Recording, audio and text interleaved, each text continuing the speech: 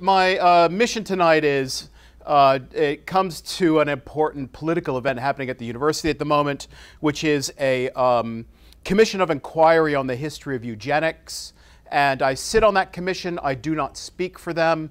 Um, I speak for myself. And uh, um, the commission is exploring the history of eugenics at UCL uh, from the middle part of the 19th century to the present and asking what on earth has been going on here and how does it impact the, the life of the university. So that's the context of thinking about this. And, and I'm going to ask you for help. Um, there's a part of this that I don't know anything about, and I'm, in, I'm really in uncharted waters, and that's where you're going to help me. So the presentation is going to be um, one part is going to be me telling you something. Another part is going to be a turn where I set up the thing that I don't know anything about and I ask for help. And then in the discussion, you can tell me all the things you know that you think are important to this particular thing. So does that make sense?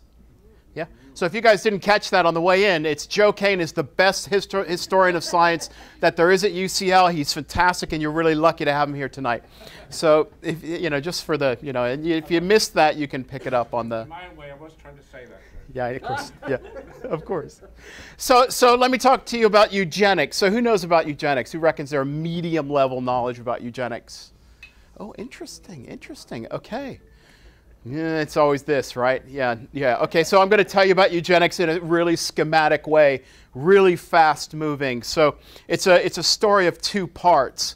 Uh, eugenics takes one or one of two turns um, across the second half of the 19th and, and well into the 20th century, and certainly today. The first the first part of it starts with with dogs and breeds. Eugenics is about words like breed and stock and uh, variety and trait. Words like that fit into one part, one tradition in eugenics. It fits very comfortably in that tradition. And it, uh, it comes out of a much, much before whatever you think you, what genetics was. Long before genetics, there's discussions about pedigrees and stocks and lineages and crossings and all that stuff in, in, in agriculture, whether it's prized animals or, or cockerels, if you can actually see that, and, and human beings too. So, so one strand of eugenics begins in this, can we just call it an agricultural direction, where pedigree and stock and line and lineage are important. Uh, this kind of image shows up in eugenics discussions all the time, and basically it's a crossing of, let me just be so cheap and easy on this tonight, one chicken and another chicken, um, and following from one generation to the next, to the next to the next and, and asking about what traits or qualities pass predictably from one generation to the next to the next.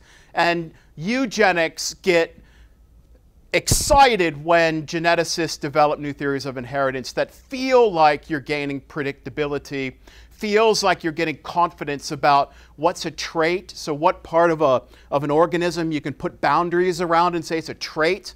Like in this, in this case, the color of the chicken. It's not really chicken, just give me a break. But uh, uh, the color of the chicken as it's going from generation to generation to generation. And, and most importantly, the predictability or the pattern here. So, one, one part of eugenics is about this bit of agriculture or biology, and you see it played out in the writings of eugenicists.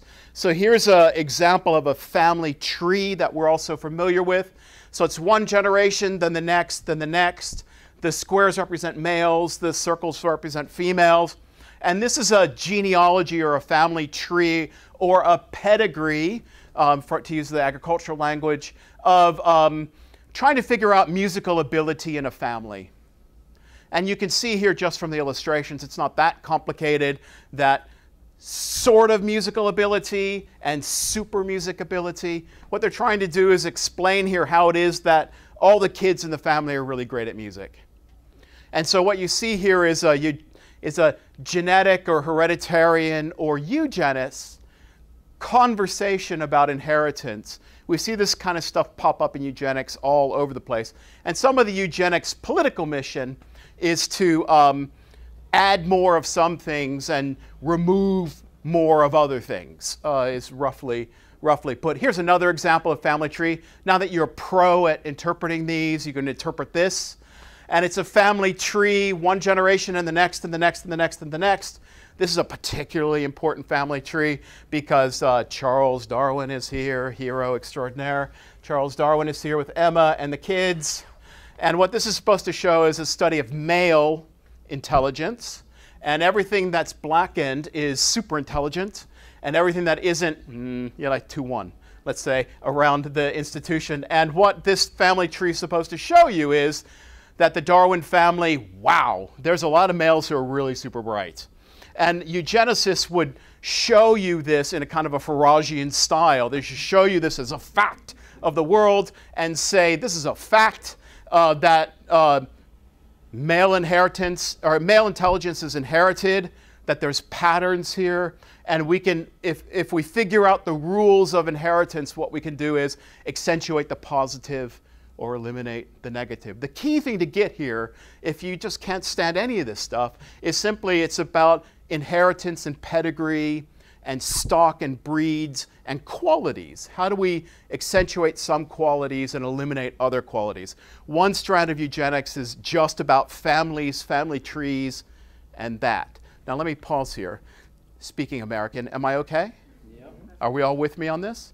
Nobody's having a Trump moment of too, yeah, no, okay, okay, great. Okay, so so we're all right and loud enough. See, I told you I belted too loud. Yes, See, there you go. Nobody sleeps, right? That's the key thing. So, and if you haven't already twigged on this, so as I said, Darwin's here, and uh, Francis Galton is here.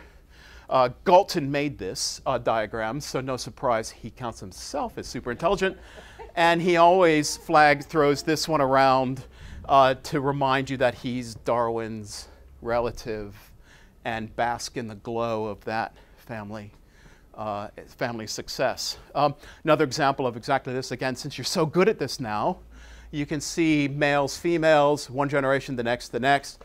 And this shows um, the effects of inbreeding or the effects when cousins marry. And in this case, um, female and male of some qual- they carry some quality. Parents didn't have it, brothers and sisters didn't have it, but they had it together. And they, when they had kids, all the kids had it. Now, without going into the fancy theory of genetics about why this would be the case, this, is a, this would be a piece of evidence to prove that the fact is that whatever this quality is has been inherited. And there's a genetic theory to this that would say, of course, we could have seen this coming that this would be the case. So this is recessive, if, that, if you know genetics, this is recessive. And so when recessives are together, big A, little a, it's all little a's. It's little a's for the whole family. And it just happens to be, in this case, F stands for feeble-mindedness. As a simple way to say it, very low IQ. And eugenicists, in addition to accentuating the positive, eliminate the negative, it's the same story, it's just a different quality. So a uh, eugenicist would be interested in identifying the inheritance pattern for whatever we want to put boundaries around and call a trait. Once we know the pattern or the rules that follow the inheritance of that trait, we can monitor its flow from one generation to the next, to the next, to the next. Eugenicists would tell stories like this they'd say, um, Here, we're going to tell you a story about Ada Juke. And Ada Juke was a human being who lived um, in the middle part of the 18th century, and we know her descendants well. Problem is with Ada, she was a carrier. She was a carrier of a bad thing, and uh, she had a lot of kids. those kids had a lot of kids, and those kids had a lot of kids.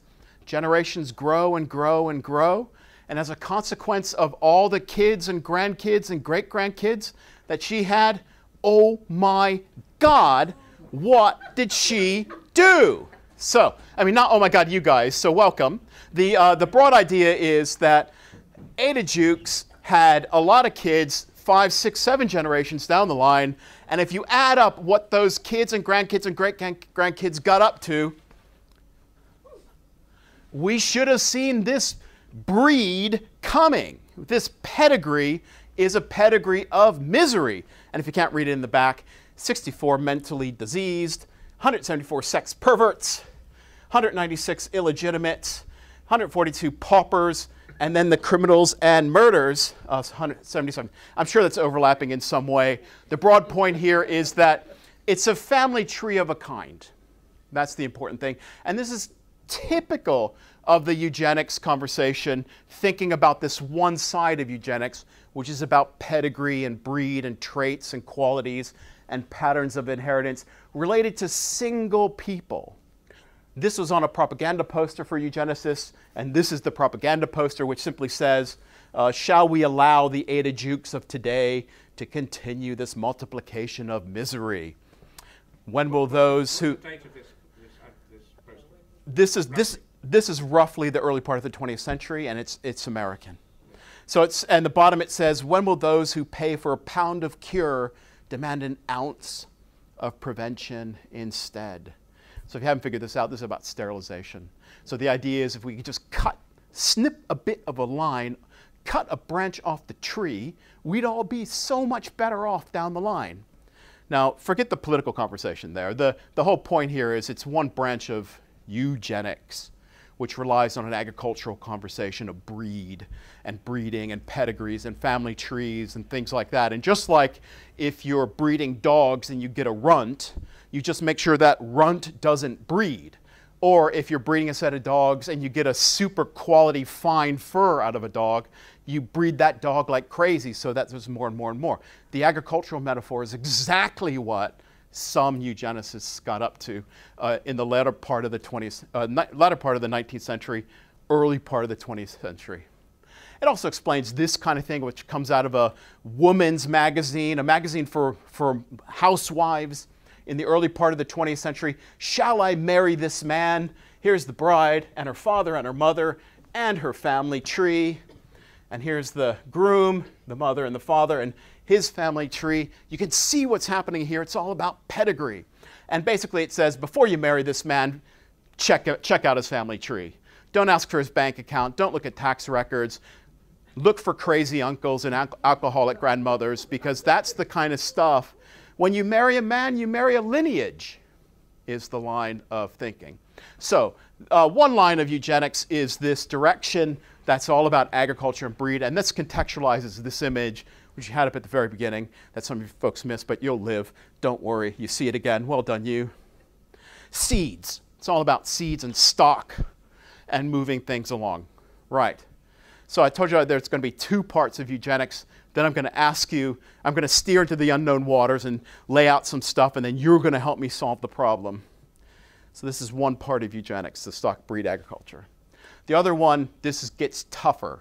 So rely on your tea or coffee if you have it sitting around. So this is going to get tougher because it's about mathematics. So hold on. So uh, this part relates uh, strongly to um, the UK, to Britain, to London, to Francis Galton, Karl Pearson, um, uh, Ronald Fisher, and uh, the mathematical statisticians here at UCL. Um, Galton and Pearson were important proponents of the normal curve, that in any population of, of, of uh, in any population, uh, qualities tend to distribute in a normal way. Take height of human beings, for example. That if that if we took everybody running around this uh, Bloomsbury right now, lined them up, we'd have a normal distribution. There'd be some very short people, some very tall people, a lot of us in the middle, and we would distribute in a certain way. Um, what, where this comes into eugenics is all about pushing the average one direction or another. So, whereas one line of eugenics is about individuals and single bits of heredity, this stuff is about statistics. It's not about an individual, they don't tell individual stories. It's more about census data it's more about populations of statistics in which individuals don't really count for much. But it's big data sets, like all of London, all of United Kingdom, all of Europe, all of the world. Um, this strand of eugenics is about statistics and census. A great example of that is, is this terrible graph here. And if you can't see it, it's about birth rates, and it's the number of children per capita of um, women who've uh, gone through university. And it's 0, 1, 2, 3, and up. And then it's over time 1850, 1860, 1870, 1880, 1890. So it's historical data about women who've gone through university and, um, and uh, how many children have they had. And sometimes they include men too. So, so the broad message here is from 1850 to 1900, birth rates have gone down.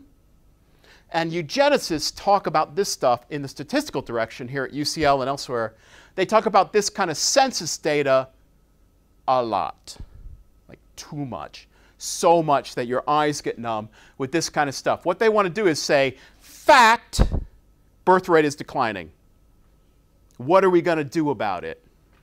Not just anybody's birth rate, but somebody's birth rate. And we're going to come back to that later on in the talk. Another example of, of data that they would use, again, this histogram is the number of years between graduation and marriage for women coming out of university in, um, in uh, a part of America across the second half of the 19th century. And so what they did was they asked how many years between graduating and getting married uh, occur in a woman's life? Is it 0, 1, 2, 3, 4, 5, 6, all the way down to 36 years later? Well done. And this is a relative number of most women, most women, uh, fewer women, fewer women, fewer women. So what you get here is, again, it's statistics, it's census data, it's not about anybody in particular, it's about communities and populations. And what a eugenicist is going to do is look at this and say, how do we change this distribution to get the outcome that we want? So, for example, if we want people to have more children earlier in their lives, what we might do is try to move this data in this direction. So, women who come out of universities get married sooner the assumption being that children are related to getting married and so on. And so if we wanted to slow that down, if we wanted to decrease a population over time, what we might do is increase the number of years between graduating from university and being married. So if you get nothing else out of this, get the fact that it's not about an individual, it's about groups, and it's all about shifting an average one direction or another the kind of eugenics that was developed in here at UCL by people like Karl Pearson and Galton and Fisher and others, the broad idea is it's all statistical. They didn't meet people, human beings, they didn't care to, they didn't they just weren't even interested in us as human beings. That's going to be important later on. Another kind of census data comes out of this German, it just happens to be German, from the 1920s, and it's about birth rates. Birth rates in, I think we would say classes, different class groups. And oh man, in anthropology, I don't even want to talk about classes. So just hold on to your hats with that. The basic idea here is that if you're a thuggish family, thuggish family? Look at the picture. The uh, 4.9 children on average. If you're a criminal family, if you're part of a criminal marriage, you're 4.4, 4.9, 4.4. It's going to go down. If you're part of a sort of older family, let's just say working class for the purposes 3.5, well, that's fewer children than the thug who's just breeding all over the place. Uh, the, the proper German family, 2.2, and the educated university elites, like us, right, 1.9. So uh, this is a statistical or census-based kind of analysis of what's happening in a population, what demographically it's going on. And of course, there are a lot of assumptions here thrown into what these categories are and what they mean. But a eugenicist in true Faragian style, I don't know why I'm on Farage today, but he, he's been in the news today, right? So why not? Uh, uh, no, they it's caught him getting a lot of money from people that you know didn't leave their names. So the so the uh, the broad idea is that this would be held up and say fact we got to do something about it. Fact. Don't dispute it. It's data, right? We, we've been there before, right? We, we understand that, that game that's being played. And move on. So, so uh, a eugenicist would look at this and say, it's not about an individual. Don't mean to hurt anybody. Don't mean to exclude anybody. Don't mean to push anybody around. The broad idea is We just got to do better than this. These clearly we need more of, and these clearly we need fewer of, is the broad shift of where they want to go. Last one before we go to um, some policy. This graph shows basically a, another kind of concept, which is about birth rates, the good and the bad. If you just add up the birth rates of the folks, if you kind of take this kind of data and you put it into a bar graph and you say the top groups are the bad, so we just color them in black, and the bottom part are white, we're going to, bottom part are good, and we're going to put them in white. You guys are already on fire about that idea. Um, if you if you project forward in time based on the birth rates that are fact, this is trouble. Because if you let things happen without intervening, nature will take its course, and we are in big trouble because we all are part of the good group, and we are just going to get swamped out over time. So now, 30 years from now, 60, 90, 120 years from now, if we let these kind of birth rates continue, this is what's going to happen. They, bad, are going to start swamping us out. That's the language, swamping us out. Now, fact, birth rates, do the math, objective, ah! And that's you didn't come in at a crazy time, really. It's okay. The, the big idea is that eugenics has two directions. One direction is to focus on pedigrees and individuals and single traits and the inheritance of those. But here at UCL, it's different. It's about census data and it's about big data analysis and it's about mathematical modeling and it's about that statistical analysis of normal distributions and asking questions about how to move those averages one direction or another in order to accomplish different goals. Highly theoretical. It's, it's maths department stuff, which is why it took place in the maths department here. So, so that, that's, the, that's the broad setting. So if you, got, if you remember nothing else, this is what you need to remember of what I've just said over the last 20 minutes. Okay? So come back to us now. Influence of individuals, like Ada Jukes, one person can lead to a huge thing down the road positive or negative. Demographic changes, so that's all the statistics. Eugenicists start talking at the end of the 19th century about this kind of stuff, about swamping. That's too many of them and not enough of us. And counter selection is the thing I haven't said yet, but it's a Darwinian concept. So now sit up straight because we're going to talk about the man. The broad idea about, about counter selection is hang on a minute, this isn't the way it's supposed to be. The, the bad people are just prolific. There's just a lot of them. But they're not the right people. They're not the fittest. Uh, survival of the fittest means me. I'm the smart one. I'm the good one. I'm the virtuous one. I'm the one who can figure it out. I, we're the intelligentsia, right? How come we're losing? We got to do something about this. And that, there's the counter selection. So it's not let nature take its course because we have done something wrong. We screwed it up. Maybe, don't want to be Dickensian about it, maybe, or Malthusian about it, it's, it's, maybe it's social welfare. Maybe we're just too kind to the poor and they live too long. Maybe we love our luxury lifestyle with our double espresso latte with chocolate on top, and we don't get out of bed before 10, and we don't work very hard, and you know, I only learned one language this week, and I'm just not trying very hard. So it's something about counter selection brings out a Darwinian naturalism to the problem. And the naturalism is there's survival of the fittest, which we all agree in, and then there's what on earth is happening today. This isn't right. It's not natural. So, how do we fix it? Now, that's the geneticist heading off into the direction.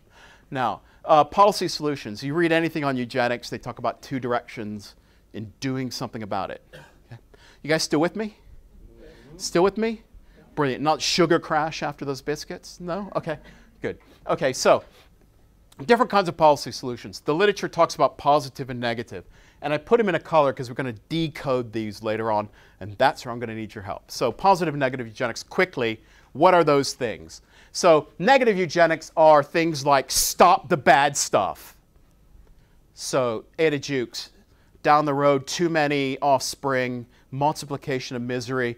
If we had just spent an ounce of prevention to sterilize her, we would have avoided a pound of cure having to deal with all that trouble. So, as the 19th century turns into the 20th century, sterilization is something that becomes a common call in, um, in public policy circles, and that's eugenics. In some places, it actually took effect, and in some places, it was discussed widely but not implemented. So, sterilization is a quick move. Segregation is another one, particularly for, um, if I just crassly say IQ, lower IQ um, uh, individuals who, um, again, to use the crazy language of the time, they don't know any better. So, you can't help them. You can't teach them anything. They just don't know. Easily tempted away. Just segregate. Put them somewhere else. Madagascar was popular. Send them to Madagascar. They'll be on their own. We, they'll live humanely, but they won't add to the next generation. And then finally, well, that's deportation. So, so move people along or institutionalize people, put them in asylums. Those are the, those are the ones that are almost always mentioned in discussions of, of negative eugenics much more commonly are cheaper, less dramatic solutions of things like marriage laws. This group can't breed with that group. Uh, this person can't marry that person. Immigration restriction. If we feel like we're being flooded, the best thing to do is stop the leak, stop the flood, turn off the valve, stop those immigrants from wherever they're coming from coming in. So, a lot of eugenics conversations when it comes down to the level of implementation, negative eugenics, stopping bad things from happening, uh, immigration restrictions really po uh, popular. It's a common policy response.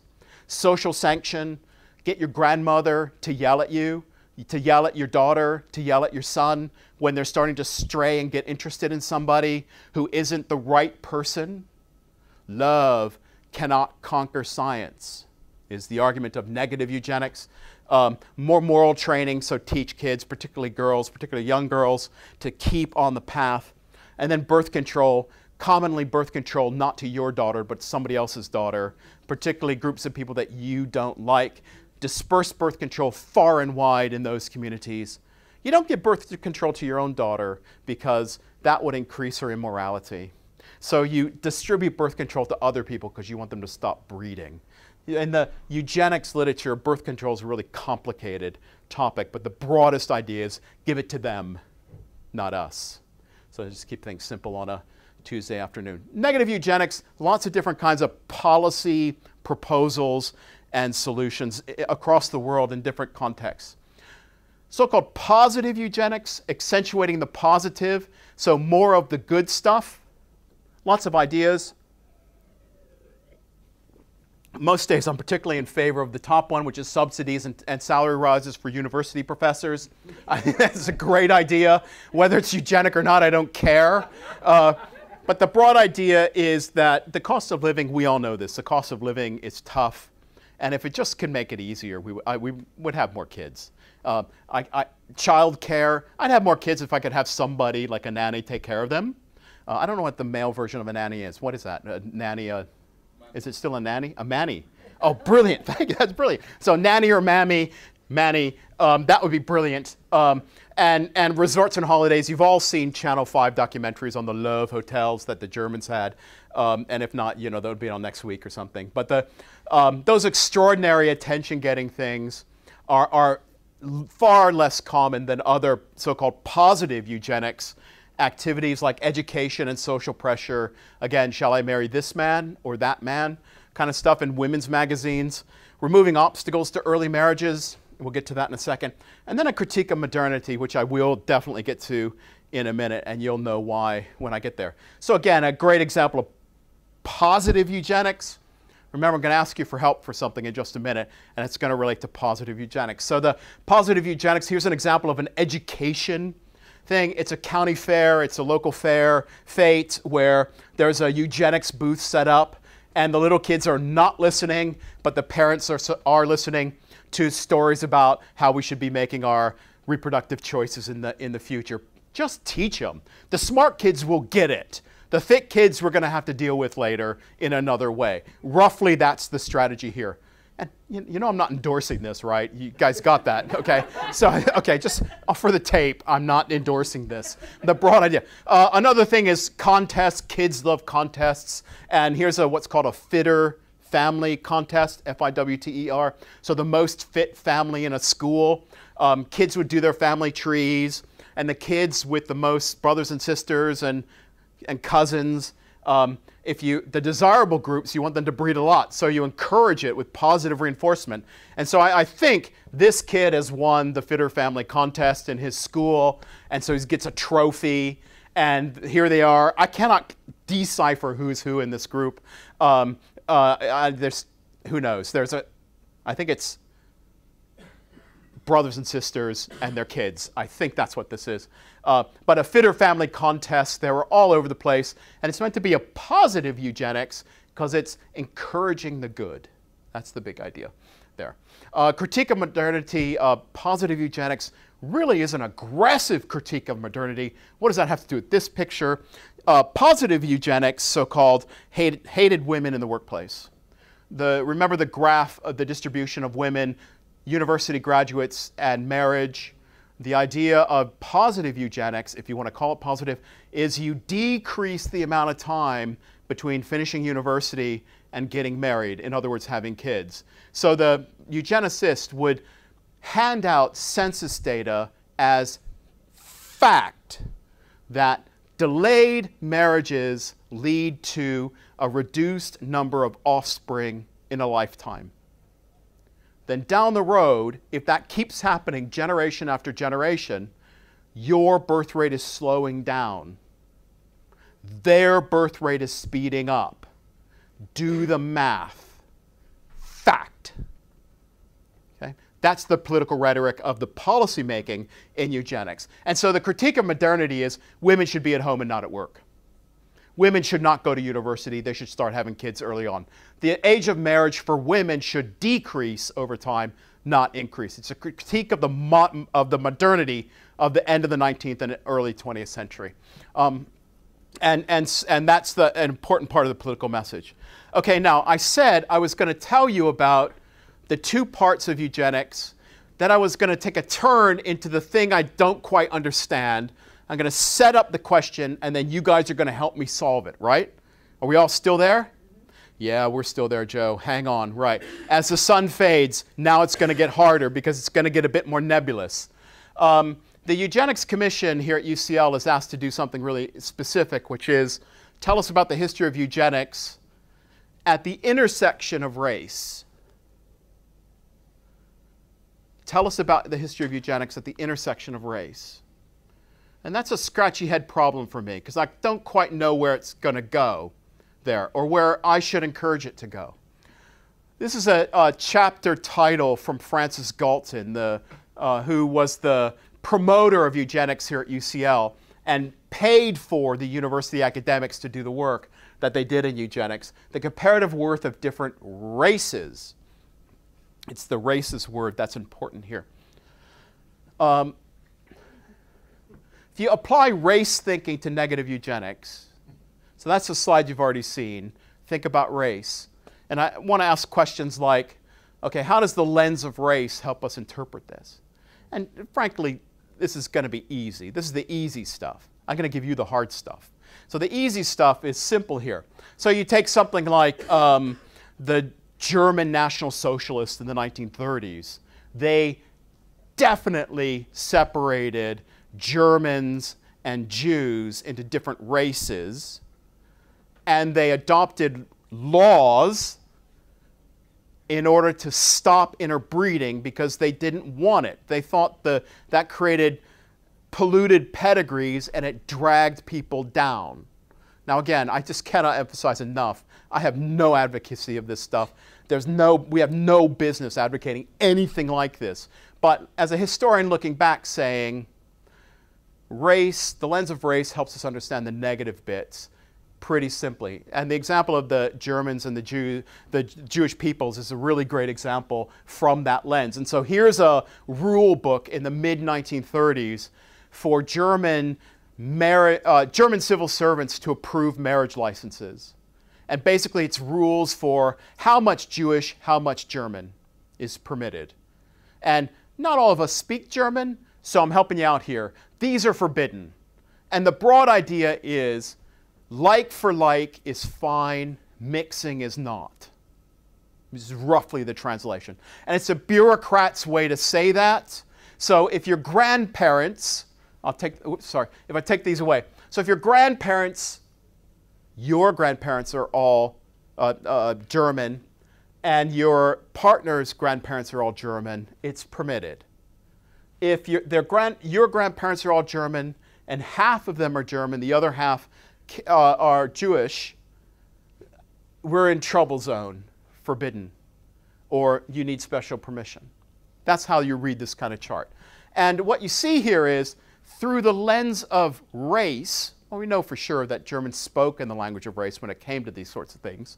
And so what's happening here is they're trying to think through the racial consequences of eugenics. So the negative eugenics, fairly straightforward uh, analysis of, of using the lens of race, we can understand what negative eugenics is up to. That's easy. We're not going to waste your time on it. We're going to go to a harder thing, which is the positive eugenics. So now I'm going to start entering the zone where I need your help. So, through the lens of race, asking questions like this, when I start, when I read all this literature, I'm asking myself, how are eugenicists racists? How are eugenicists here at UCL racist? How is all that census taking racist? How is all the statistics racist? How is all the policy and mathematical modeling, how is that racist? That's where I want you to go, and that's where I need you to help me because I think it's definitely there. We just need to tease it out and understand where it is. Let me give you an example of, of how I think this works. Here's an example of a winner of a fitter family contest. So I think, this is hard to interpret, uh, because, uh, I think father, mother, brother, and kids. And this is a winner of a fitter family contest in some part of America in the very beginning of the 19th century. And it just says no race suicide in this family. No race suicide. Okay, race, got it, right? So this is supposed to be positive eugenics. Encourage the fitter families to reproduce more positive reinforcement, positive eugenics. Where's the race? It feels like it's right there. You with me on that? I'm not so sure yet. I'm confused here now. Definitely it's white people, no surprise there. I think it's too simplistic to say this is about white. So let me press on a little bit more. Um, thinking about race categories. Now, I, oh man, what a dangerous place to talk. 18th century thinking about race, fairly global in its European thinking, and it roughly separates out into what are called the great races of the world. And using different vocabularies and slightly different numbers, different people have different numbers and so on, but the rough translation is familiar to all of us, and it's roughly continental in its language. Press on towards the end of the 19th century Europeans start dividing themselves up a lot. And so by dividing Europeans up, you start getting subdiv subdividing language here. So what you might see in an anthropologist conversation about races of Europe, you might start seeing it's the Caucasian great race subdivided into these different categories. You guys still with me?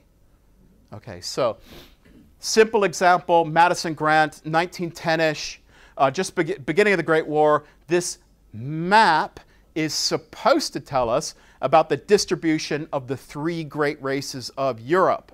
So this is Caucasians subdividing themselves, uh, one Caucasian sub, sub, uh, subdividing everybody into the Mediterranean, self-explanatory, Alpine and Nordic, and then talking about overlaps and contact zones and all that stuff. So here's, this is racist because it's a racializing of human beings using categories based on, on who knows what, but it's using that categorizing system. I still don't think it gets us to race suicide. Um, uh, and press on a little bit more. You look at Francis Galton's work in the 1860s when he writes his famous uh, manifesto on, on eugenics and how to do it. Well, what's the problem and what's the solution?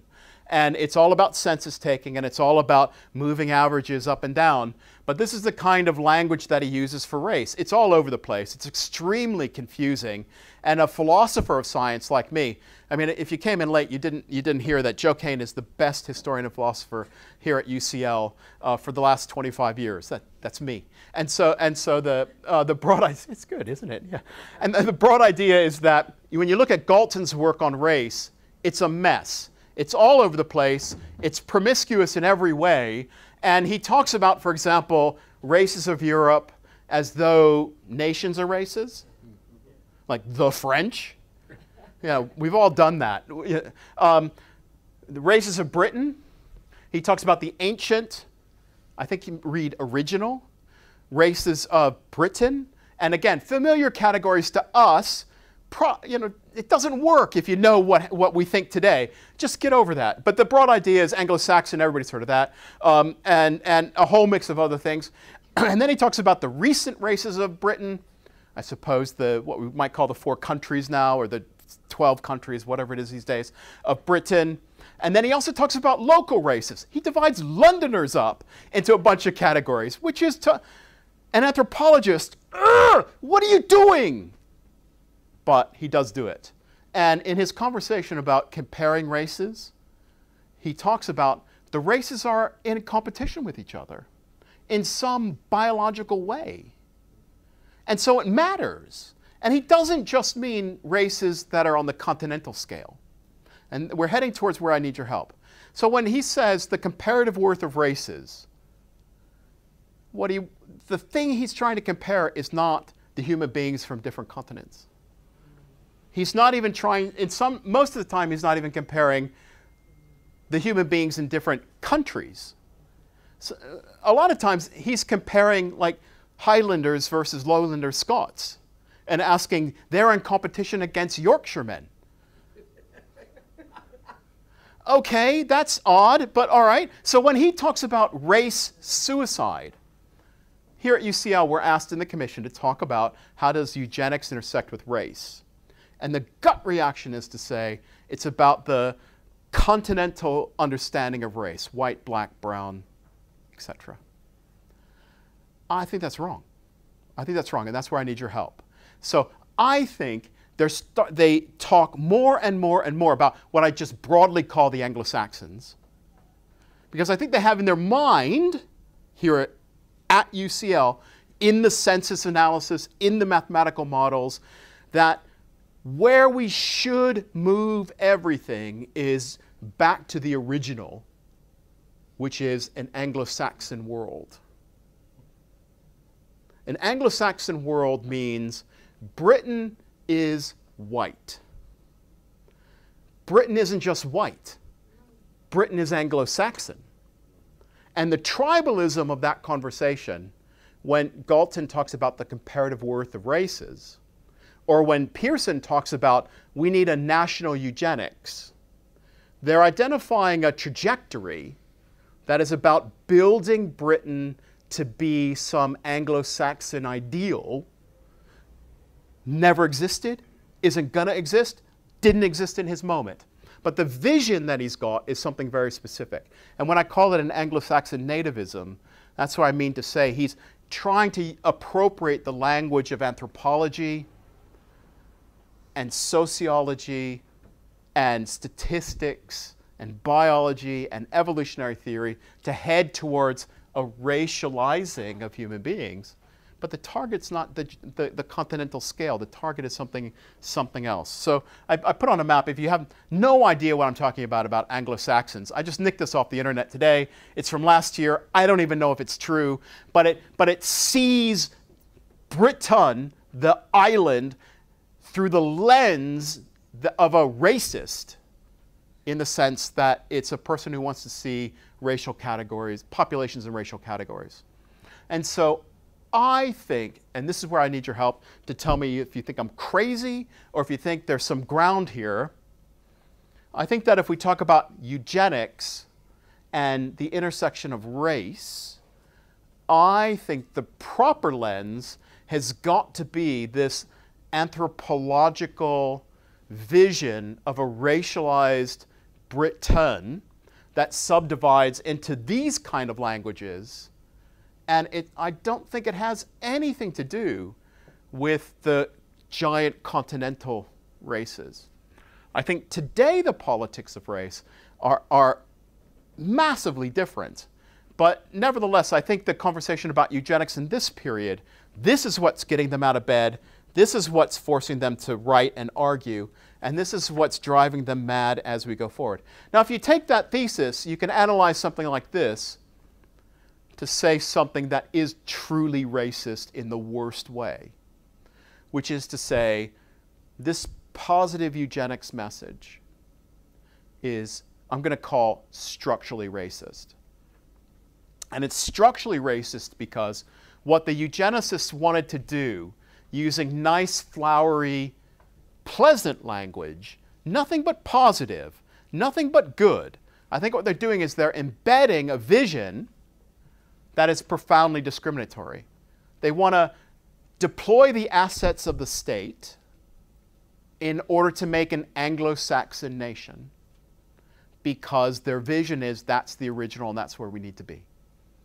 And they wrap it up in a science language, they wrap it up in a technological language, and they wrap it up in an anthropological language. But essentially, what they're trying to do is appropriate everyone's money to create a Britain that they think is the way it should be. And that's an absolutely fascinating direction. So the race suicide is Anglo Saxons. You're even letting the Franks get in here you need to stop that. You're letting the Italians come and take over, and that's what's swamping us more than anything else. Stop Italy, Spain, and Greece, and boost Yorkshire, we'll be fine, is the broad language. It also helps interpret this kind of language. Birth rate, this is, you've seen this graph before. It's birth rates across the 19th century, widely waved around. It doesn't matter that it's an American example, widely waved around about dropping birth rates it's birth rates of a particular group of people, and using the lens of race, you say this is Anglo Saxons complaining about Anglo Saxons not reproducing themselves as fast as everyone else. That's the way I'm starting to interpret this conversation out of the statistics that's being done here. Or even this, the broad argument being criminality is a part of a pedigree, but this bit is about, in, well, in this case, it's not Anglo-Saxons. It's, it's, another, uh, it's another racialized European group. But again, the people here would say, the, the eugenicists here would say, um, we need to let the good intelligentsia of the Anglo-Saxon world to promote themselves, and we need to slow everybody else down. Same kind of story, same kind of language. Uh, and then finally, to me, through the lens of Anglo-Saxon language, this helps us interpret this kind of image, which is again, don't marry outside of your, if I say tribe, is that okay? Can we live with that? don't marry outside of your, your they're going to say race. But really, what they're going to say to us is people. And what we should hear is Anglo Saxon community or something like that. So ultimately, this kind of advice, which is in a women's magazine for a particular demographic of women in a particular moment of their life, coming from a particular community, it basically says, stay in the group, don't get out of it. And that's the so called positive eugenics message. And I suppose the, the broadest point I want to make is to say, positive, are you kidding me? It's deeply damaging and it's deeply dangerous, but just a little bit of whipped cream on top doesn't make it positive. So that's the, the broadest kind of take I want to say. So, so bringing all this together into a, into a summary, I swear to God, I do not advocate this. I cannot say that enough for the purposes of the tape, right? So, the message of the eugenicists at the turn of the century here at UCL, people like Karl Pearson, who the Pearson building's named after, people like Francis Galton, who wasn't at UCL, but he funded a lot of stuff and he hung out here a lot, and, and, and people like R.A. Fisher, who's important in the history of evolutionary biology. This is their vision of what they called national eugenics. It's deeply racist. It's positive is not the word for it. It's structurally racist. It's deploying the resources of the state to accomplish a particular goal. That is to pretend that the country is made up of one tribal group of people and nobody else belongs, nobody else should be here, everybody else should just go away, thank you very much. But don't leave before you leave your wallet on the table. Um, so, so that's national eugenics for me. And I'll be done in, in one minute. So, so the broad idea, again, taking it home, positive isn't positive. These things look very pleasant, I suppose, in all the literature. It's presented as an innocuous, soft way to move things forward. It's anything but soft, and I think the lens of race helps us see that much more clearly. Now, this really is where I need your help because I'm not sure that's a strong argument. I feel it is strong, but I don't think it's argued out well enough there. And, and we, we, end with this kind of quote, which is coming from Francis Galton. And he says, basically, this is a message about positive eugenics, which is, look, you think the positive, it, it, may seem monstrous that we're pushing out the weak, um, uh, the, that the weak should be crowded out by the strong in this case. But it's, it's more monstrous just to let that happen. It's, it's worse that the races best fitted to play their part on the stage of life, the Anglo Saxons, uh, should be crowded out by the incompetent, the ailing, and the desponding. So this is the political message of national eugenics, which is stuff that Pearson and others here at UCL developed. And this is the focus of what the eugenics inquiry is, is looking at. I think that this is the tricky word. And if we think it's, if we interpret that as white, I think we're wrong.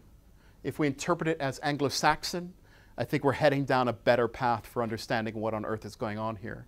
Um, and, and we'll, we'll see that. And I'll just close by saying eugenics is an absolutely fascinating topic. I used to think I I had no interest in this. I've got other things to do. But eugenics, this is a famous image of eugenics, and it talks about from all different all these different disciplines eugenic thinking arises. And if you can't see any of them they're every discipline in science from sociology to biography to law to eth ethnology anthropology archaeology geology history etc the broad idea is that the eugenicists wanted to deploy all the resources of the university to accomplish their policy objectives, which is make the world, or will make their country an Anglo-Saxon country and push everybody else, me, out along the way. And I think that that's where we're heading in this commission. It's where I'd like to see the commission going. I need your help to think through this a little bit more clearly, and I think we've got some time for questions. So thank you for staying awake and thank you for not running away. Let's get into this. Thank you very much.